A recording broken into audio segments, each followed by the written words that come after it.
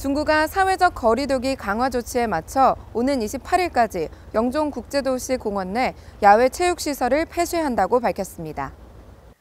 영종국제도시에 위치한 공원 내 야외 체육시설이 폐쇄됐습니다. 폐쇄된 공원 체육시설은 파크 골프장과 축구장, 풋살장, 게이트볼장 등 다중이 집단적으로 이용하는 야외 운동시설입니다. 폐쇄 조치로 인해 통합 예약 시스템 중단과 사용이 제한됐는데요. 전국으로 확산 중인 코로나19의 감염 예방을 위한 조치입니다. 또 무의도 한화계 해수욕장에 있는 해상관광 탐방로 역시 감염 예방을 위해 폐쇄됐습니다. 해상관광 탐방로 준공과 함께 관광객이 몰릴 수 있는 만큼 선제적 대응에 나선 겁니다. 중구는 이번 조치로 이용에 다소 불편함이 따르더라도 주민들의 적극적인 협조를 당부한다고 밝혔습니다.